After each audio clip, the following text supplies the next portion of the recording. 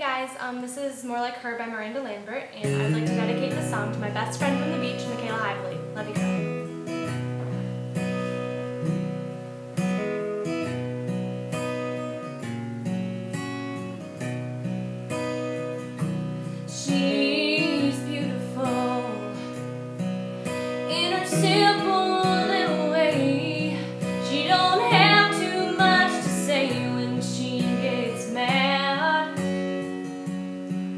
she understands.